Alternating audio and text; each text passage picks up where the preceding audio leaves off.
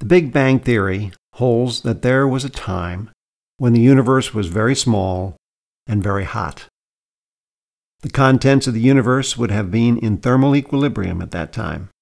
Particles in thermal equilibrium all have the same temperature. Roughly speaking, temperature is a measure of the kinetic energy of the particles.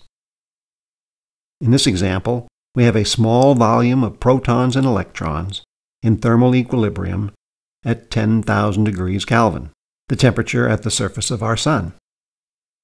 At 10,000 degrees, the electrons and protons are too hot to combine into hydrogen.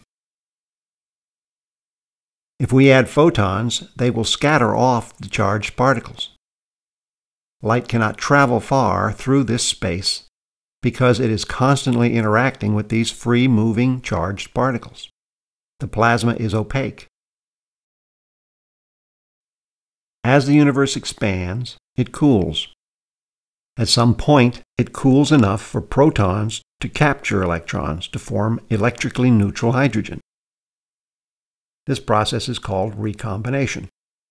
Once the transformation to electrically neutral particles is complete, light will travel through space without any further interactions. This is called decoupling. The radiation is said to have decoupled from the electrons and protons. The plasma becomes transparent.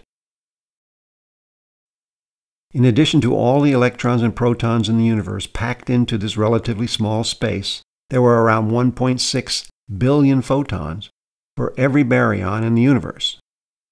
Baryons are the protons and neutrons in the plasma. Being in thermal equilibrium, these photons would be characterized by the black body radiation curve.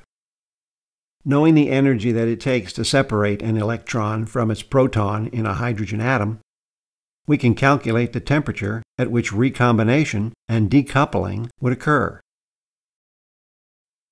The current figure is around 3000 degrees Kelvin, the surface temperature of a cool star like Proxima Centauri.